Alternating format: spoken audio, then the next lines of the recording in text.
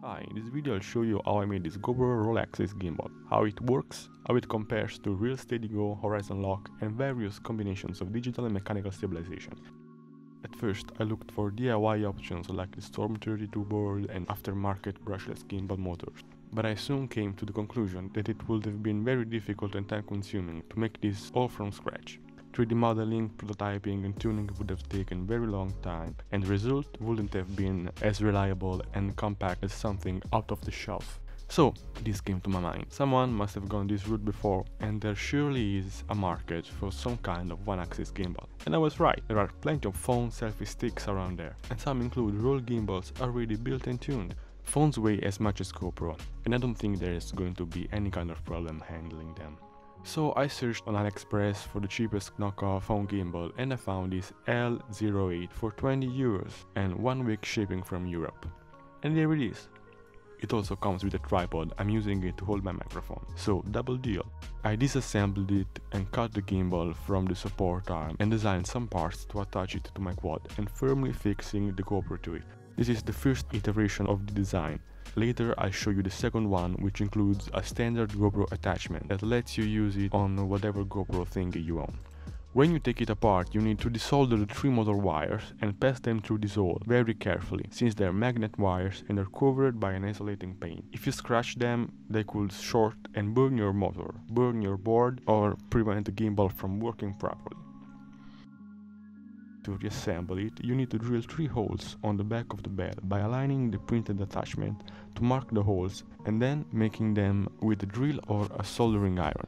I prefer the iron because it melts the plastic and reduces the stress around the holes. Trust me, I'm an engineer. Almost. Well, hopefully in a couple of years. After that, you have to fit like 10 to 15 millimeters M3 screws like these ones, from the inside and put rubber nuts on the back. Then you will have to put the nut back on. It's very easy to forget and I did it twice. Don't forget to nut, the nut. Don't forget the nut. Now solder the motor wires and screw the board in place.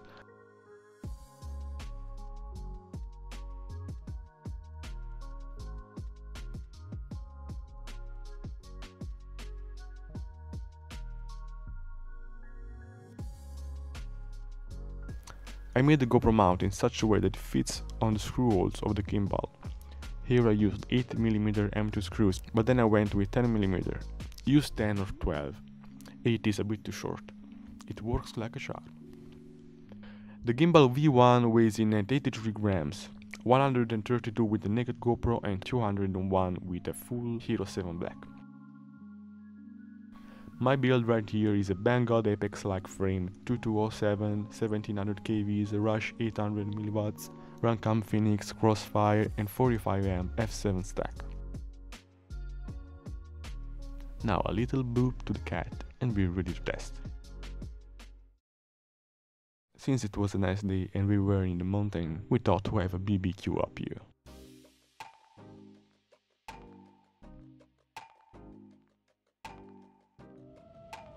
Now in the first test I've got a Hero 6 with a gimbal versus gimbal and ReelSteady Go versus gimbal, ReelSteady Go and uh, Horizon Lock. In the top left there's gimbal, ReelSteady Go and Horizon Lock. You can see it's a little more stable.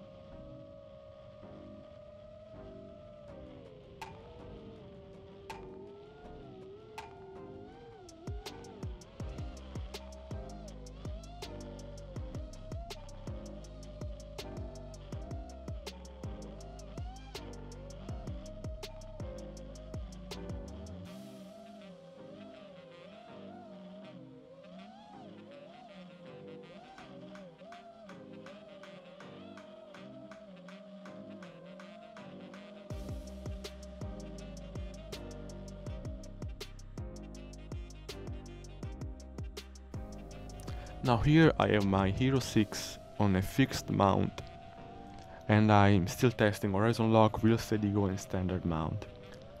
Real Go, Horizon Lock is doing a great job,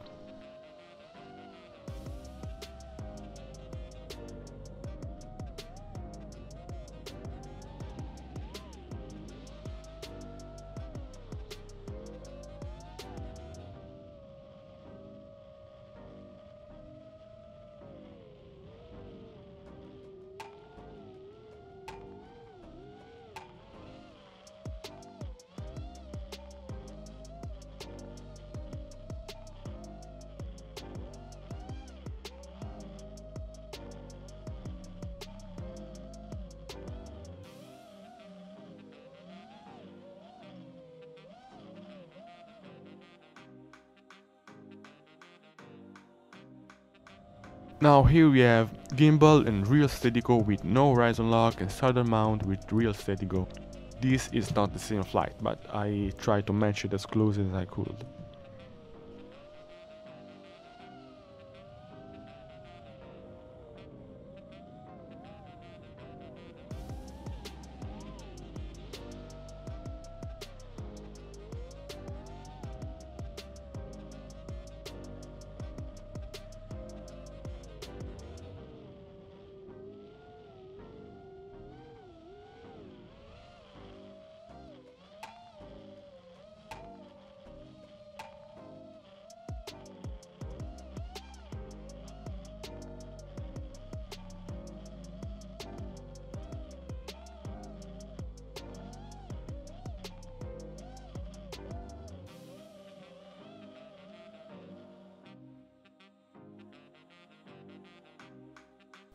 So now this is what you were waiting for.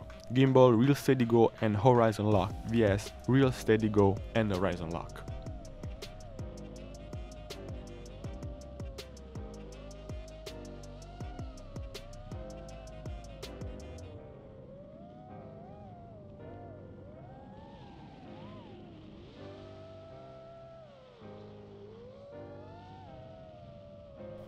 The gimbal video is zooming a lot in because I was hitting a branch and I made a weird movement.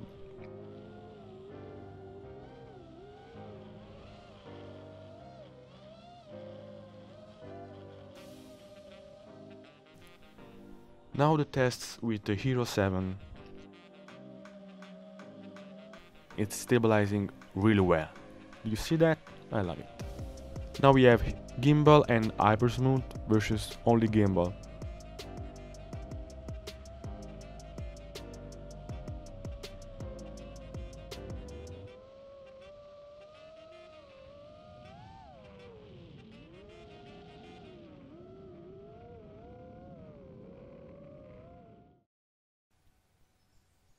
After reviewing the footage, I wasn't satisfied with the result.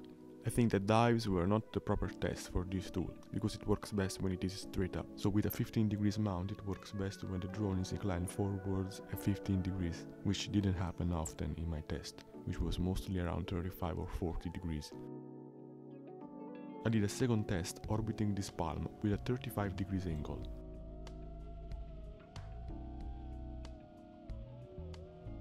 and even though I'm flying pretty badly, the gimbal is doing a better job than the standard mount, which is to be expected.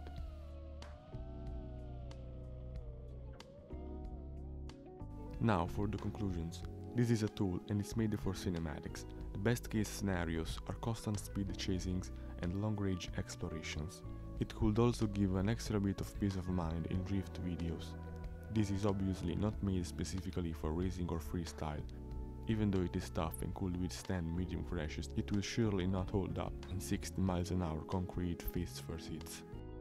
All the files are available on Thingiverse, I've put links in the description to them and to AliExpress for the gimbal. If you're in Europe and you don't own a 3D printer or just prefer to get it already built, I will be having a parts and build service. The parts are available for all the GoPros from 5 to 9 and also GoPro Hero Session 4 and 5 Insta360 One R and DJI Osmo Action, and the drone mounts are universal fit, meaning that there will be space for you to drill your own holes, but you will probably find a mount for the GoPro standard joint on Thingiverse for your frame.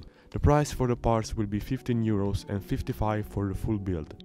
Send me a message on Facebook, Instagram or here on YouTube if you're interested. I will be adding links to my social. Like, comment and subscribe so you will not miss my next video. Thanks. Bye.